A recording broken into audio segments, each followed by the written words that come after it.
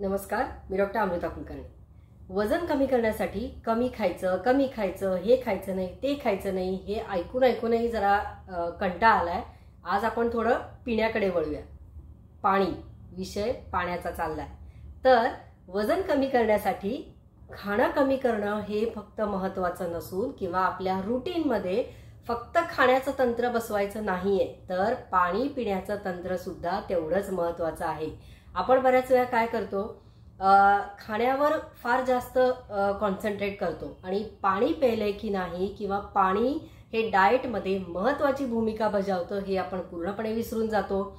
म्हणूनच आपल्या डेली रुटीनमध्ये फक्त खाण्याचं नाही तर पाणी पिण्याकडेही बरेच लोक दुर्लक्ष करतात. आणि नेमकं इथेच पाणी जर कमी प्यायला गेलं जर शरीर डिहायड्रेट झालं तर मेटाबॉलिझम अजून स्लो होतं. मेटाबॉलिझमवर त्याचा निगेटिव्ह इफेक्ट होतो. आणि इतकं सगळं डाएट करून पण व्यायाम करून पण वजन कमी का होत नाही हे कळत नाही. पण यामध्ये कुठेतरी एक सिंपल चूक झालेली असते की पाणी किती पितोय याकडे आपण लक्ष देत नाही. आणि म्हणूनच आजच्या व्हिडिओमध्ये काही सोप्या टिप्स सांगते की ज्याच्यामुळे तुम्हाला वजन कमी करण्यासाठी पाणी पिणं किती आवश्यक आहे केव्हा घ्यावं किती घ्यावं हे कळेल. तर चला व्हिडिओ सुरू करूयात. सगळ्यात पहिलं की पाण्याच्या योग्य प्रमाणामुळे म्हणजेच पाणी योग्य प्यायला गेल्यामुळे मेटाबॉलिझम आणि एनर्जी या दोन्हीचाही मेळ हा परफेक्ट बसतो आणि आपले सहज वेट लॉस व्हायला मदत होतो. दुसरं की पुरुषांमध्ये किमान तीन लिटर तरी दिवसभरात पाणी गेलं पाहिजे आणि स्त्रियांमध्ये किमान दोन लिटर तरी गेलं पाहिजे. अर्थात हे किमान आहे त्यामुळे याचा इनटेक हा प्रत्येक कंडिशन वाईज सुद्धा वाढू शकतो. पुढचं दुसरा पॉईंट अन्न खाण्यापूर्वी म्हणजे आपण जेव्हा फूड घेतो किंवा आपलं जे मील असतं म्हणजे मग नाश्ता असेल जेवण असेल संध्याकाळचं स्नॅकिंग असेल किंवा दुपारचं जेवण असेल वॉट या सगळ्यामध्ये आपण काय करतो की खाण्याच्या मध्ये मध्ये पाणी पितो. असं न करता जेवणाच्या आधी अर्धा तास म्हणजे अन्न आपण खाण्याच्या आधी अर्धा तास जर पाणी प्यायला तर त्याचा खूप चांगला फायदा होतो. सगळ्यात पहिलं की भूक कमी लागते म्हणजे this is the natural appetite suppressant आणि आपल्याला जे अनावश्यक जेवण जातं तर हे जेवण जात नाही म्हणून कॅलरीज कमी जातात आणि अर्थातच वजन कमी व्हायला मदत होते. तिसरा पॉईंट कोमट किंवा गरम पाणी हे सारखंच प्यायलं पाहिजे असा काही नियम नाही आहे आता अर्थात पावसाळा आलाय तर तुम्ही थोडं थोडं कोमट पाणी घेऊ शकता पण काही काही जण काय करतात थर्मास भरून ठेवायचं आणि दिवसभर तेच पाणी प्यायचं. मग नंतर नंतर हळूहळू उष्णतेचा त्रास सुरू होतो. पाईल्सचा त्रास सुरू होतो. त्यामुळे असं न करता कुठल्याही गोष्टीचा अतिरेक न करता दिवसभरामध्ये साधारण तीन ग्लास जरी तुम्ही कोमट किंवा गरम पाणी प्यायलात तरी सुद्धा ते इनफ आहे आणि बाकीच्या वेळेस तुम्ही साधं नॉर्मल पाणी पिऊ शकता. आता हे तीन ग्लास गरम पाणी जे प्यायचं आहे ते कधी प्यायचं? सकाळी उठल्यावर दुपारी जेवणाच्या आधी अर्धा तास आणि संध्याकाळी जेव्हा तुम्ही काहीतरी स्नॅक्स खायची इच्छा होते तर तेव्हा हे गरम पाणी प्यायचं.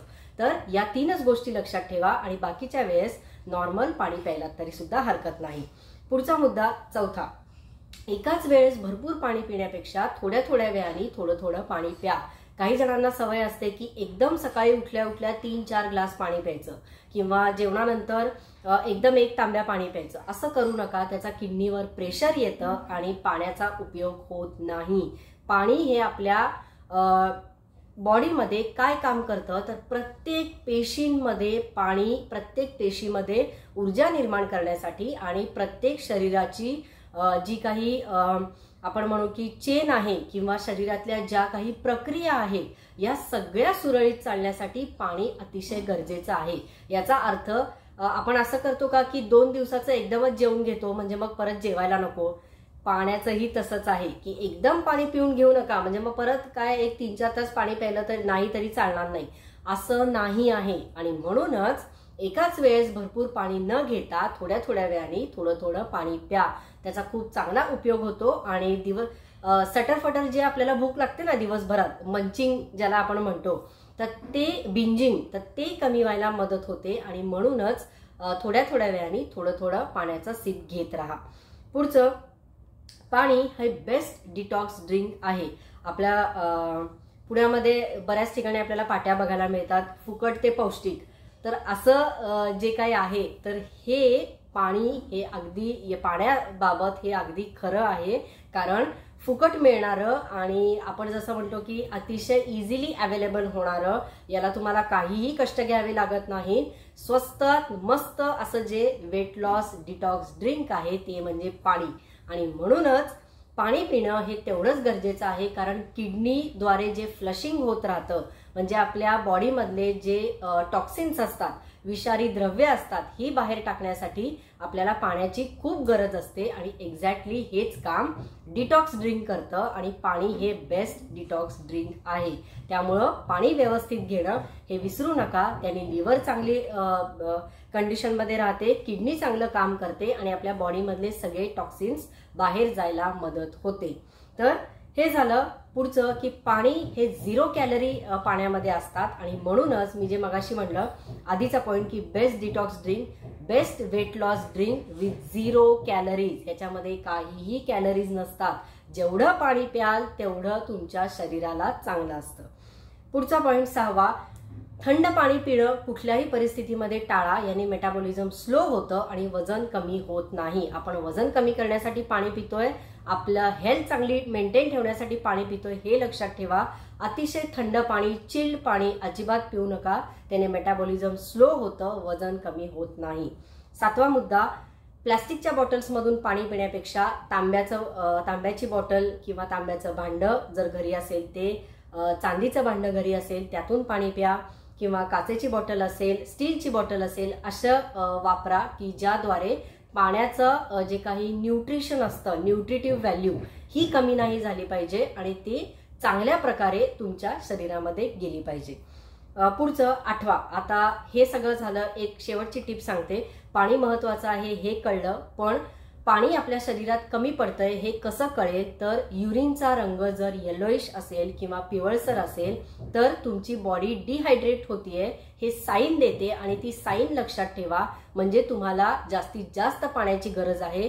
युरिन क्लिअर झाली पाहिजे युरिनचा रंग क्लिअर असला पाहिजे तर तुमच्या शरीरामध्ये फ्लशिंग व्यवस्थित होत आहे आणि तुमचं मेटाबॉलिझम चांगलं आहे हे लक्षात येतं. यासाठी तुम्हाला कोणत्याही महागड्या टेस्ट करण्याची किंवा काहीही गरज नाही आहे तर ही साधी सोपी गोष्ट आहे की जी तुमच्या नेहमी लक्षात राहील की आपल्याला पाणी भरपूर प्यायचं आहे आणि युरिन क्लिअर झाली साफ झाली तर आपल्या शरीरामध्ये पाण्याचं योग्य प्रमाण आहे हे लक्षात ठेवा. जसं मी म्हणलं की उन्हाळ्यात तर आपण आठवणीने पाणी पितोच आपल्याला तहान लागतेच. पण आता पावसाळा येतोय तर आपण पाणी प्यायचं विसरतो. आणि असं न करता दर एक तासानी एक ग्लास पाणी प्या. दीड लिटरच्या दोन बाटल्या भरून ठेवा दिवसभरात या संपवायच्याच आहेत. हे लक्षात ठेवा मोबाईलवर अलार्म लावा काहीही करा पण एवढं पाणी गेलं पाहिजे. तुम्ही डाएट एक्सरसाइज हे सगळं करा पण त्यासोबत पाण्याचं प्रमाण जर व्यवस्थित ठेवलं पाण्याचा ताळमेळ जर व्यवस्थित बसवला तर नक्कीच वेट लॉस होणार शंभर टक्के गॅरंटी आजचा व्हिडिओ कसा वाटला हे मला नक्की सांगा. तुमचे सजेशन्स द्या आणि व्हिडिओ आवडला असेल लाईक शेअर सबस्क्राईब करायला विसरू नका. धन्यवाद.